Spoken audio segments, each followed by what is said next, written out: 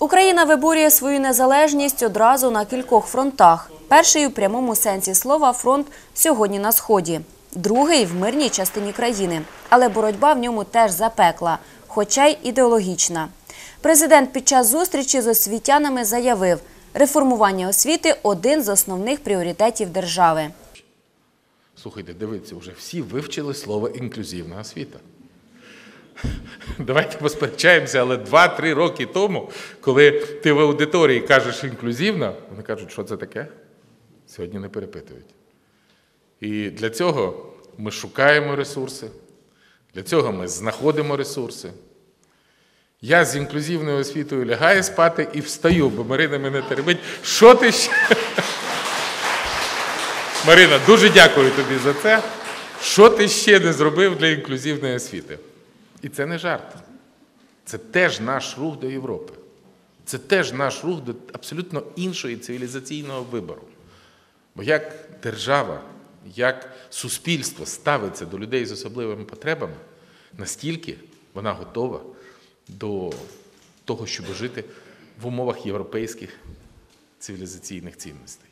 Одна з найважливіших складових розвитку політичної нації підтримка державної мови. Президент привітав ухвалення у першому читанні нового мовного законопроекту, який значно укріплює статус української на всіх рівнях. Проте закликав депутатів припинити чвари і відповідально підійти до підготовки фінальної версії документу. Так, новий закон це справа парламенту. Мені дуже шкода, що багато хто з депутатів у сьогоднішній дискусії в Верховній Раді насправді дбав не про мову, а дбав про піар на мові. Думав не про те, як підтримати українську, а як принизити своїх політичних опонентів. Слухайте, ну хоч на мові. Цього не можна робити точно. Це дуже чутлива, дуже важлива для держави сентенція.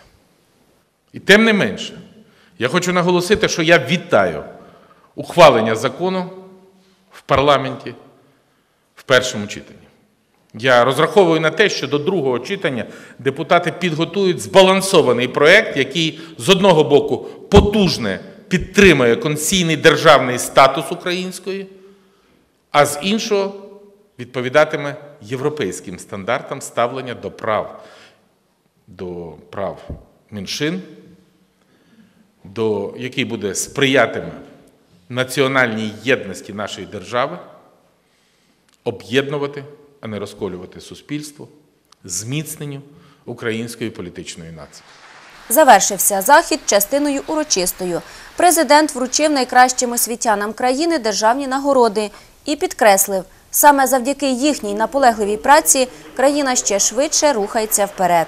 Привітав зі святом глава держави і українського героя Ігоря Гордійчука. І, дорогі друзі, з великою приємністю я маю високу честь вітати присутнього тут героя України, достойного сина українського народу Ігоря Володимировича Гордійчука, який